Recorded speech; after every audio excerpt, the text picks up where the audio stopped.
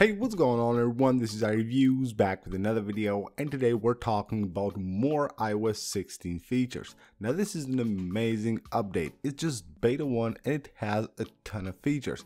There are probably at least 300 new features and changes on iOS 16 and most of them are actually hidden and of course it will take a while to discover all of them. So in this video I will show you guys 16 more secret features of iOS 16. Now another secret that you should know right now is that subscribing to the channel and leaving a like on this video helps out a lot so make sure to do so. It's really really helpful and will help the channel and the video do much much better. Alright we're starting things off with safari. Head on to safari and whenever you go to search something on a page so you will have find on page here when I search for a specific word or something on a web page now you will have the option here to tap on that icon and you will have now two different options. You will have here all words or match case. So you can choose whichever one you want, of course, depending on what you want to do and what you want to find. Now this is super useful. Whenever you have a link copied on your clipboard, let's say you copy a link anywhere and you just want to open it on Safari, you don't have to even open the app all you have to do is go to the spotlight search and you will have the option here to quickly open the link directly from here simply by tapping on it or of course you can just 3d touch there if you want to see a preview of the link that you have currently copied on your clipboard. Now you know the new feature of iOS 16 that lets you just remove the background on different pictures. You can do that on the Photos app, of course on the Files app as well. And it works the same, so you tap open just tap and hold the subject of the video and of course you can remove the background from that but a more easier way to do it on the files app is simply by 3d touching on the photos tap on quick actions and just tap on remove background and it will automatically save the picture without a background. That's super useful and of course much much easier to do and have a new file saved automatically. Another thing you can do now on the Files app is that you can actually create a new folder quickly for a file that you want. So let's say I want to just create a new folder and put that file on that folder. I don't have to do a lot of actions. All I have to do is just 3D touch on that file. you can see right here, new folder with items. So it creates a new folder just like that containing that item. So it automatically will create the new folder and also place that file into that folder. Now, of course, we have now some really great new features for contacts on the contacts and the phone app. One thing that you can do now is export all of your contacts or just the contacts that you have on any of your lists. So here, all iPhone, you can see all my contacts. I can of course email all of them that's a new feature, but I can also go ahead and export all of my contacts from here. So of course I can save them to files or just share them anywhere I want. This right here is super useful as well. You have a few contacts on a list, you want to move them to another list. I can go here and let's say I want to get a couple of these contacts and move them to another list. Here's how easy it works. Just drag one of your contacts just like this, and then you can even tap just like this to collect all the contacts just like you do with icons, then go back and release it at any other list that you want, and just like that you can move contacts between your lists.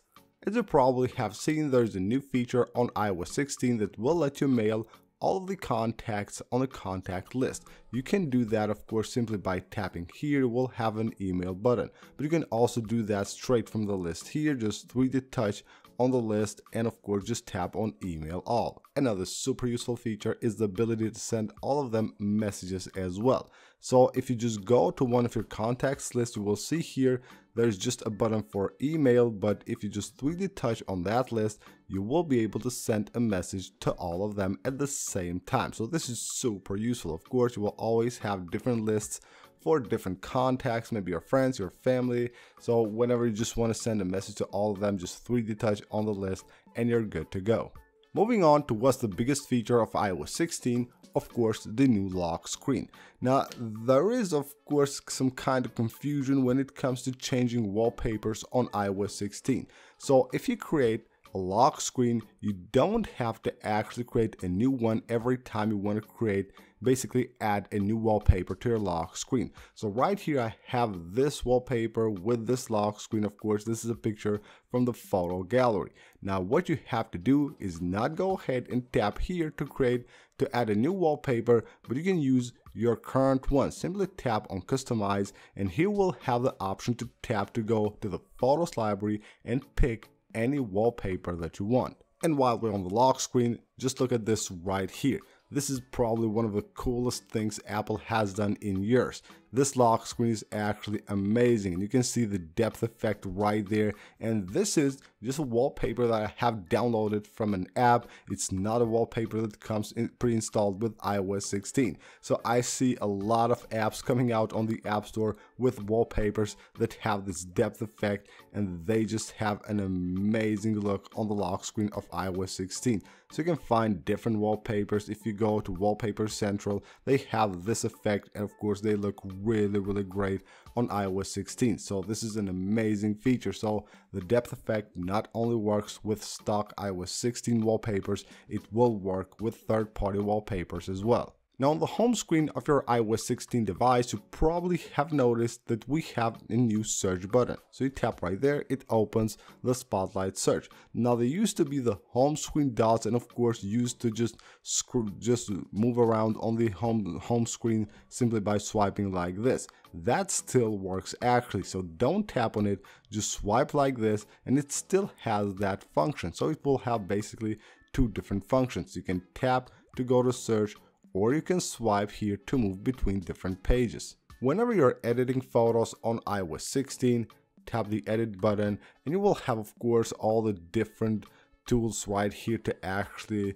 just go ahead and edit any of your photos. You can of course move around here, but now you will have an undo and redo button right there. So any effect that you add to the photo, you can switch back or you can go forwards. Let's stay here on the Photos app for a bit more. We have this new feature when you enable live text. So if I tap the live text button, you can see it will show me these new buttons at the bottom. So if you have like a date that it has scanned and recognized on a picture, you can tap on that date to quickly add it to an event on the calendar. Really useful. And of course, it has more things like maybe something that it can convert or time or something like that, you can tap on more to see everything that it has found. And now we have three different features which basically all do the same thing, they convert but in three different scenarios. Now right here we're on a picture.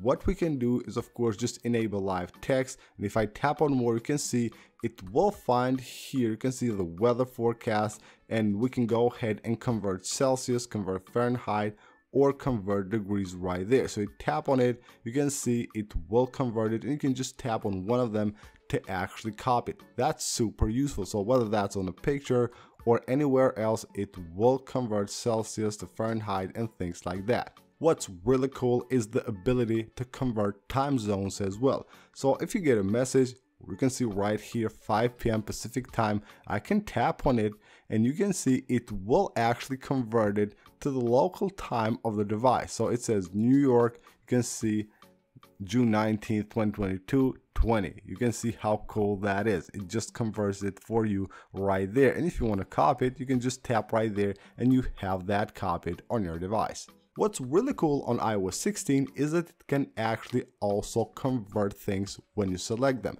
So right here we can see we have 55 kilograms. I can go ahead and select that and just swipe right here. You can see we have all the conversions that we need right here on the list. That's super, super useful. This conversion feature of iOS being able to convert currencies, like weight, size, and of course time and all that is actually super, super useful and most likely will be even better with the next releases of iOS 16. So that is it for this video guys, these are some of the secret features of iOS 16 that you probably didn't know about. Thank you guys for watching the video, leave a like if you enjoyed it, make sure to subscribe for more and I'll see you on the next one.